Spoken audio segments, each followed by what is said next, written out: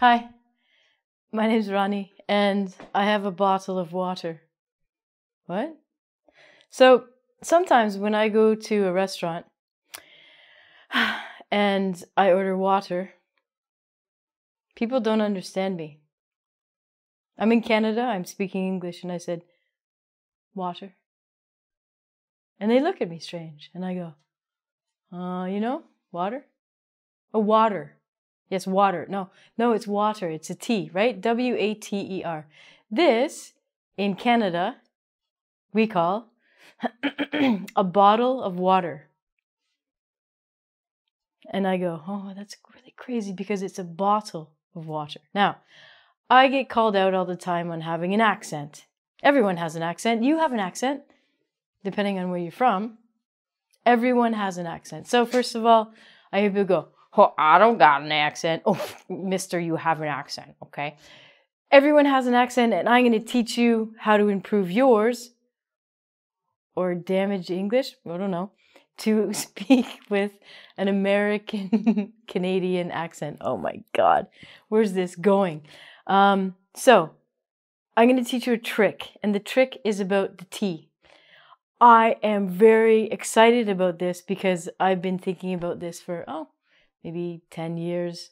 Why do Canadians and Americans say D? It's a T. I found the reason, and I'm going to teach you. Let's have some water, shall we? Um, we have three, four.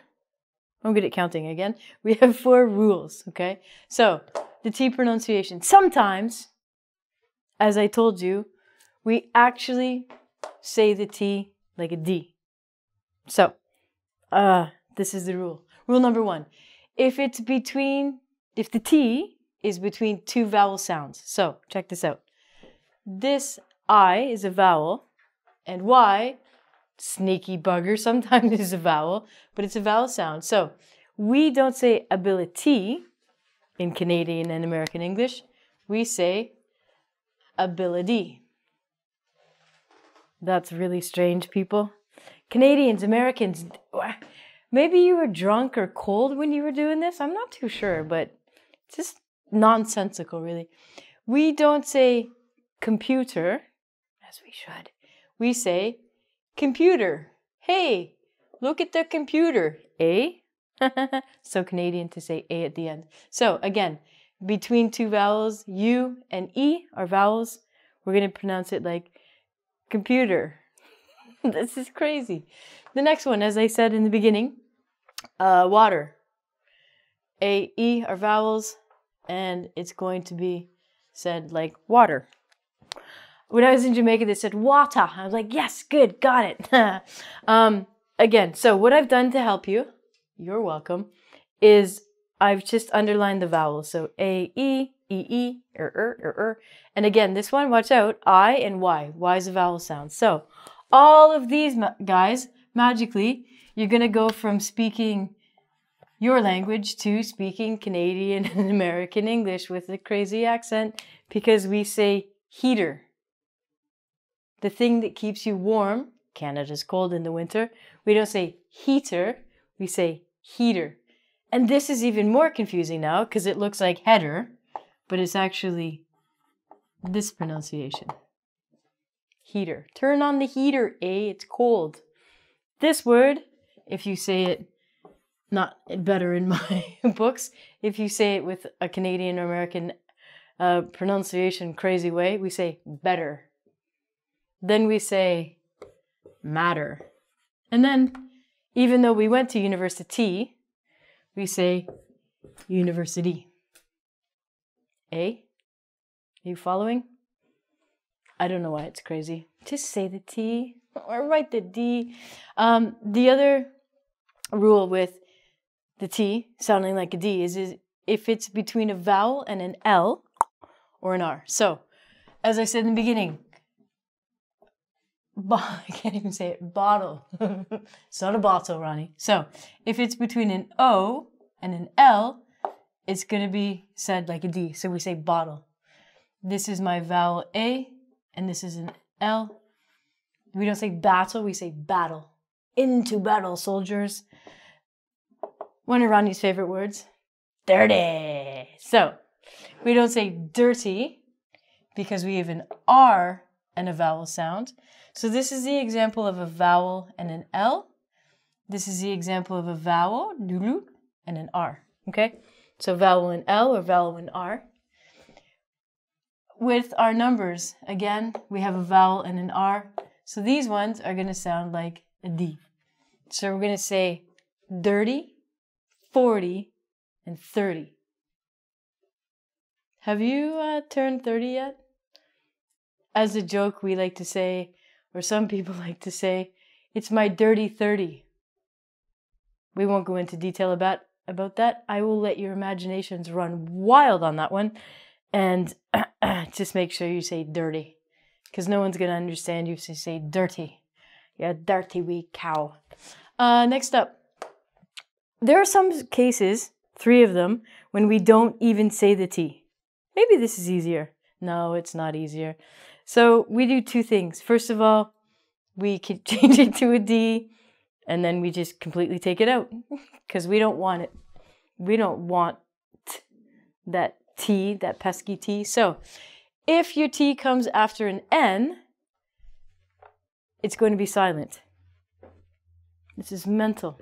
So, we don't say interview, we say interview. I got a job interview. that was from uh, Rednecks Represent. So we say interview.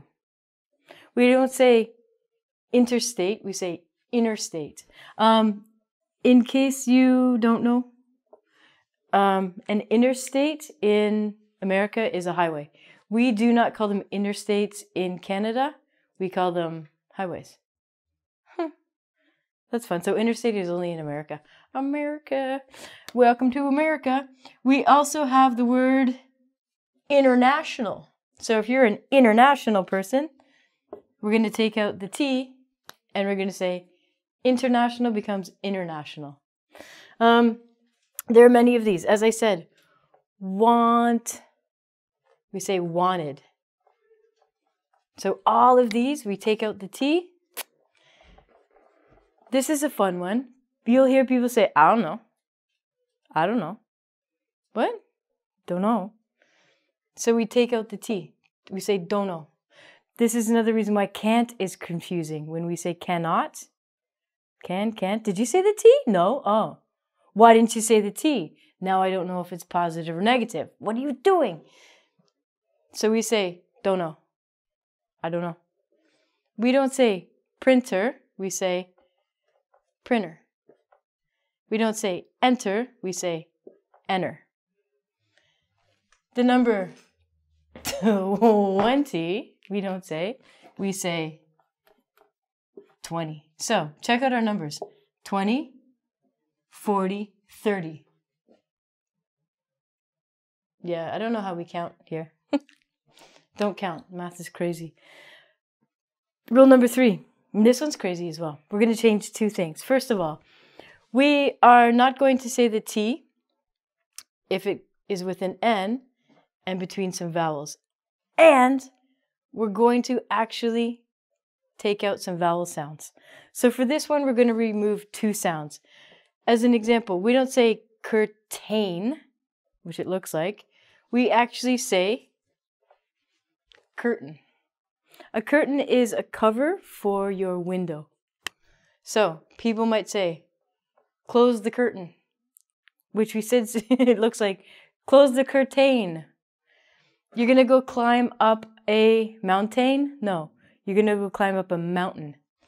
These vowels we're going to take out the T and the A, and it's going to sound like mount in, curtain. Another example of the A is we don't say fountain, we say fountain. It's an example with the E. We don't say written, I do, but we actually say written. So we take out the T and the E, we change it to an IN. We don't say forgotten, we say forgotten. I've forgotten how to say the T. I've forgotten to say the T. Um, this word is crazy. I always spell it wrong. I always spell it S E N T A N C E, but the pronunciation quickly is sentence. My brain goes sentence, but Americans and Canadians say sentence.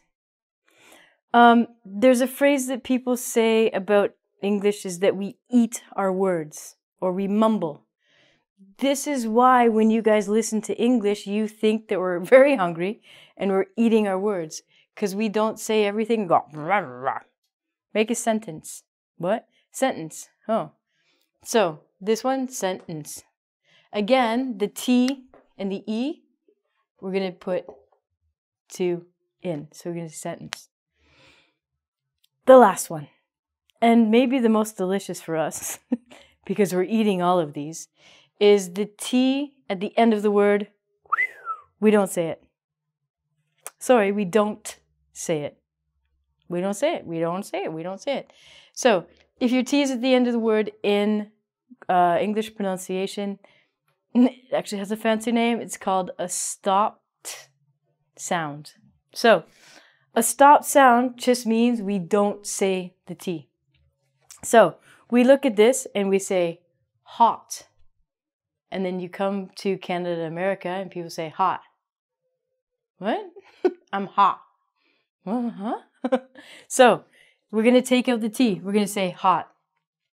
For this one, something you wear on your head, we're going to say hat. Hat. Something on the floor is called a mat, or also a person's name. There are many people, many men named Matthew, is get certain to Matt. But we don't say mat, we say mat. Mat, Matt. Maybe he's a goat. This word, if somebody has a lot of weight, we don't say fat, we say fat. A group or a parcel of land is called a lot, not a lot. There's a pesky animal. It's a rodent, and it's called a rat, not a rat.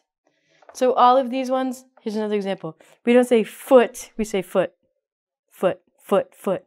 It sounds like we're not saying the T. I said this before want, wanna. We don't say want, we say want. I want. I want, we don't say the T.